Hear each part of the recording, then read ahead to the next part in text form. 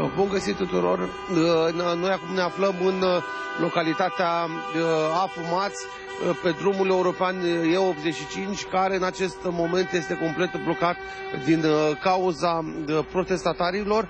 După ce au blocat câteva ore centura de nord a capitalei, sutele de transportatori și fermieri au venit aici, în, în, s-au stabilit aici în Afumați, unde continuă protestul.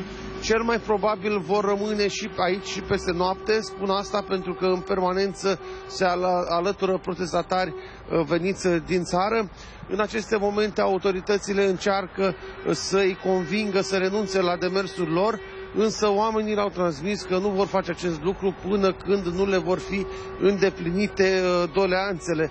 Printre revendicările acestora se numără plafonarea prețului RCA la 4500 de lei, scăderea prețurilor la carburant și rovinietă, eliminarea concurenței neloiale, cât și reducerea timpului de așteptare în vamă. Important de precizat este faptul că până acum acest protest, care se vrea a fi unul spontan, nu a fost revendicat de vreo asociație sau federație, iar liderii partidelor politice care au venit în mijlocul protestatarilor încercând să le confiște protestul au fost cuiduiți și alungați.